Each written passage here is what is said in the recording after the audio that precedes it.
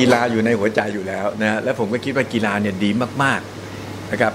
ทำให้เกิดความรักความสามัคคี และวันนี้กีฬาเป็นเรื่องเศรษฐกิจ กีฬาทำให้เกิดความรักชาติ กีฬาลดความขัดแย้ง สร้างความสามัคคีกระตุ้นเศรษฐกิจ ส่งเสริมการท่องเที่ยว สร้างความภาคภูมิใจ แล้วกีฬาวันนี้เป็นอาชีพ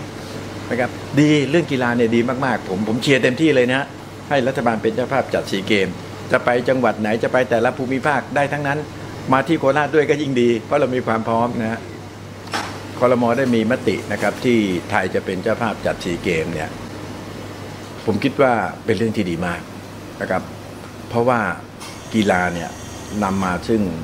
ความสุขความรักความสามัคคีของคนในชาติ แล้วการเป็นเจ้าภาพกีฬาเนี่ย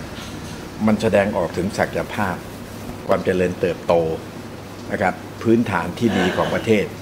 ให้คนทั้งโลกได้รู้จัก โดยเฉพาะกีฬาที่เป็นสากล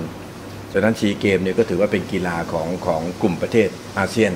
ฉะนั้นผมคิดว่าเป็นเรื่องที่ดีเป็นการตัดสินใจที่ถูกต้อง แล้วก็เป็นจังหวะที่ดีที่เวียนกลับมาที่ประเทศไทยเป็นเจ้าภาพนะครับอันนี้ผมถือว่าเป็นเป็นข่าวดี แล้วก็ขณะนี้โครงสร้างพื้นฐานด้านการกีฬา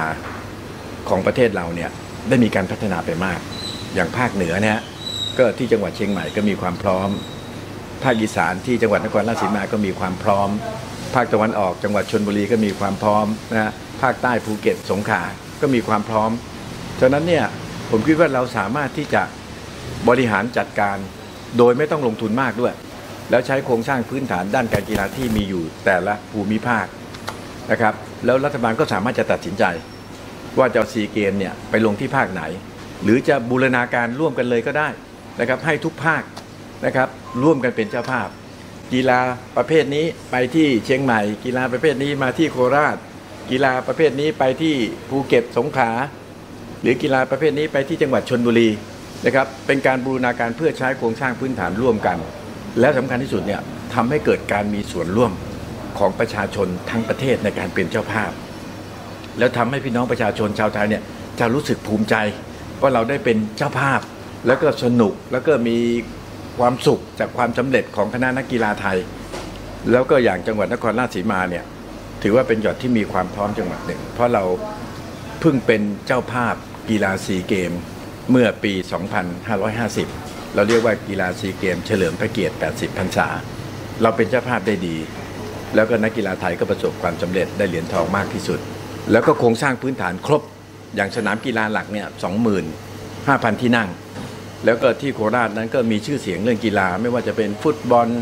วอลเลย์บอลมวย พี่น้องประชาชนทั้งจังหวัด ก็ถือว่ามีกีฬาเป็นหัวใจเขาเรียกว่าโคราชเมืองกีฬาอยู่แล้วฉะนั้น การตอบรับการพร้อมที่จะเป็นเจ้าภาพ โครงสร้างพื้นฐานที่มีอยู่แล้วฉะนั้นถ้าเกิดเราสามารถที่จะบริหารจัดการนะครับให้แต่ละภาคหรือบางจังหวัดได้ร่วมกันเป็นเจ้าภาพเนี่ยมันจะเป็นการกระจายความเจริญ เป็นการกระตุ้นเศรษฐกิจ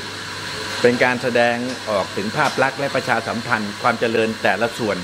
ของประเทศไทย แล้วก็จะถือว่าเป็นการกระจายนักท่องเที่ยว เพราะการเป็นเจ้าภาพซีเกมเนี่ยผมว่าคนนับหมื่น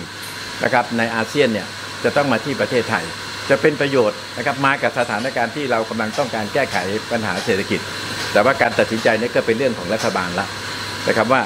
จะจัดแบบไหนจะมอบให้ภูมิภาคหนึ่งภูมิภาคใด จังหวัดหนึ่งจังหวัดใด หรือบูรณาการร่วมกัน แล้วก็เป็นโคโฮสมันก็เป็นเจ้าภาพร่วมกัน แล้วก็ตามประเภทกีฬาที่มีความถนัดนะครับมอเตอร์เวย์เสร็จแล้วนะคนอยู่กรุงเทพหรือจังหวัดอื่น จะมาดูกีฬาซีเกมที่โคราชเนี่ยไม่ถึง2ชั่วโมงนะครับถือว่าสะดวกมากนะครับฉะนั้นโคราชเนี่ยผมเชื่อว่ามีความพร้อมนะครับในการที่จะจัดการแข่งขันกีฬาซีเกม ขึ้นอยู่กับการตัดสินใจของรัฐบาลนะครับตื่นเต้นยินดี คือตื่นเต้นยินดีที่ที่ซีเกมกลับมาอีกแล้วเพราะซีเกมครั้งล่าสุดเนี่ยจัดที่โคราชนะครับนะครับถึงแม้ว่าจะจัดที่จังหวัดอื่น คนโคราชก็ดีใจ แต่ถ้ามาจัดที่โคราชยิ่งดีใจหลายเท่าเลยนะยิ่งยิ่งยิ่งสนุกกันอะแล้วโคราชเป็นเมืองกีฬาอยู่แล้ว